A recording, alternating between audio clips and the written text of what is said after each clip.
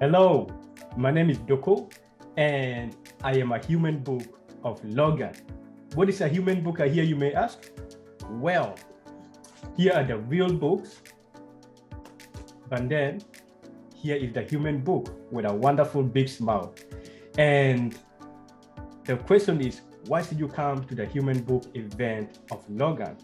Well, because the human book event is about a story of a kid who was born in a refugee camp with a speech impediment and who came to live in Logan and went from delivering newspapers in Logan to representing Australia at the United Nations headquarters in New York. And so what you will be able to do at this event is you will be able to get to know the real me and not just through the pages. You should definitely get the book, but you will get to know the real me. But most importantly, I believe you should come to the you should come to the human book event of Logan to find out why I have been showering with cold water for almost six to seven years and why I flew from Australia to go to New York to eat a $9 sandwich. I hope to see you there. Ciao.